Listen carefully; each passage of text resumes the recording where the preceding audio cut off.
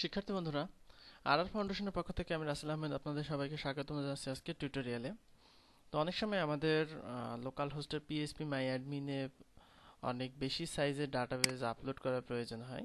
সেক্ষেত্রে আমরা যদি ডিফল্ট সেটিং দেখি লোকাল হোস্টের তো ডিফল্ট সেটিংয়ে আমাদের এইখানে, আমরা যদি কোনো একটা ডাটাবেজ ইম্পোর্ট করতে চাই, সেক্ষেত্রে আমাদের ফাইল লিমিট দেখা যাচ্ছে, দেওয়া আছে দুই মেগাবাইট তো বিভিন্ন ওয়েবসাইটের একটা লাইভ সাইটের ডাটাবেজ যদি আমি এখানে ইম্পোর্ট করতে চাই, যদি সেই ডাটাবেজের সাইজটা অনেক বেশি হয়, সেক্ষেত্রে ইম্পোর্ট করতে কিন্তু আমাদের সমস্যা হবে এবং আপলোড ফাইল লিমিট এখানে দেখাবে যে আমরা ওই লিমিটের কারণে আপলোড করতে পারছি না।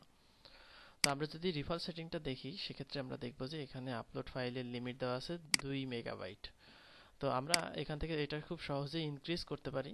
ইনক্রিজ করার জন্য আমাদের এখানে পিএসপি মাই অ্যাডমিন ফাইলটি এডিট করতে হবে। তো আমরা যদি সার্চ করি যে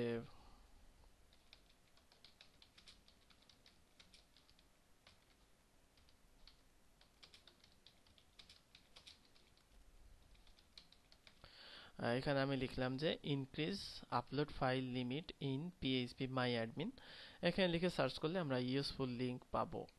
তো আমরা এখানে অনেকগুলো লিঙ্ক পেয়েছি। প্রথম তিনটা লিঙ্কে আমরা যাই। অর্থাৎ সেখানে কিন্তু দেওয়া আছে যে কীভাবে আপনি আপনার লোকাল হোস্টে পিএসসি মাই অ্যাডমিনে আপলোড ফাইলের সাইজ বাড়াতে পারেন। মূলত এটি পিএসপি মাই অ্যাডমিন এর যে একটা পিএসপি আইএনআই ফাইল আছে, সেই ফাইলটিতে এডিট করতে হবে। তো আমরা পিএসপি আইএনআই যে ফাইল আছে সেই ফাইল আমরা এখন এডিট করব। তো এখানে আমরা প্রথমে পিএসসি মাই যে পিএইচপি আইএনআই ফাইলটা সেটা প্রথমে খুঁজি পিএইচপি আই এন আই তো এখানে খেয়াল করুন যে পিএইচপি আমাদের এখানে আমরা দেখি যে আমাদের প্রথমে আমরা পিএইচপি যেটা সেটাতে আমরা এডিট করব। তো এখন পিএইচপি এটা এডিট করতে হলে আমরা এখানে খেয়াল করুন, আমি কোন ডাইরেক্টরিতে যাচ্ছি, অর্থাৎ সি ওয়াম্প বিন পিএইচপি পিএইচপির ভার্সন যেটা আপনার ইনস্টলড অবস্থায় আছে সেটাতে। তো আমরা এটাতে রাইট ক্লিক করে এখানে গেলাম। প্রথমে আমরা এই ফাইলটা ওপেন করি। ওপেন পাথ এরপরে আমরা রাইট ক্লিক করে edit with notepad plus plus তো নোটপ্যাড প্লাস প্লাস যাওয়ার পরে এখানে আমাদের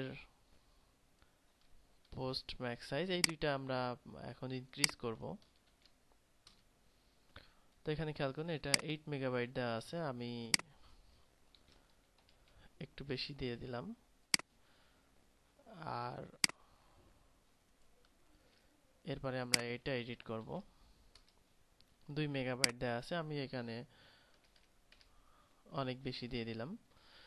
তো এখন আমরা ওয়াম সার্ভারটি রিস্টার্ট করব। রিস্টার্ট অল সার্ভিস এটা করব। তারপরে ওয়াম সার্ভারটি রিস্টার্ট হবে। এখন যদি আমরা ইম্পোর্ট অর্থাৎ যেটা আমরা, এটা রিলোড করলাম রিলোড করলে এখানে আমরা দেখতে পারব যে আমাদের আপলোড ফাইলের যে লিমিটটা সেই লিমিটটা এখানে বেড়ে যাবে। তো এখানে আমরা অ্যাপাচি যেটা, সেটার ঠিক একই কাজটা করি।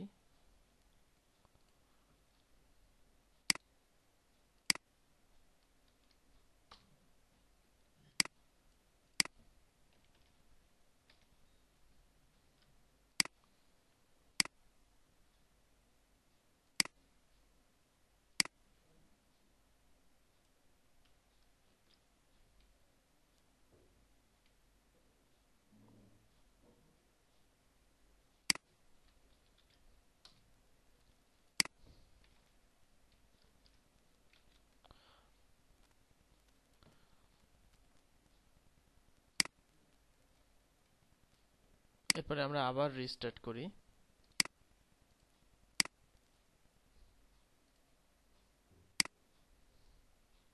তো খেয়াল করুন, এখন কিন্তু আমাদের আমরা ফাইল ইম্পোর্ট করতে পারব আটশো মেগাবাইট অর্থাৎ আমরা এখানে যেই ফাইলটা এডিট করে চেঞ্জ করেছি, সেখানে আমরা আটশো মেগাবাইট দিয়ে দিয়েছি বিধায় আমাদের এখন কিন্তু আটশো মেগাবাইটের ফাইল আমরা এখন আপলোড করতে পারব। তো এইভাবে আপনারা এডিট করতে পারেন। আমি এখান থেকে যেই সোর্স লিঙ্কটা অর্থাৎ সেই সোর্স লিঙ্কটা আমি এখানে দিয়ে দিচ্ছি এইটা দেখে আপনি, আমি যেভাবে করলাম, সেভাবে আপনি করতে পারেন। ঠিক একইভাবে ওয়াম সার্ভারে দেখালাম, ঠিক একইভাবে আপনি এক্সাম এটাতেও আপনি ঠিক পিএইচপি মাই অ্যাডমিনের আপনার পিএইচপি আইএনআই যে ফাইলটা আছে, সেই ফাইল দুটো এডিট করে আপনি আপনার আপলোড ফাইলের সাইজটা বাড়াতে পারেন। তো আশা করি পারবেন। ধন্যবাদ সবাইকে আজকের এই ছোট্ট টিউটোরিয়ালটি দেখার জন্য। আল্লাহ হাফেজ।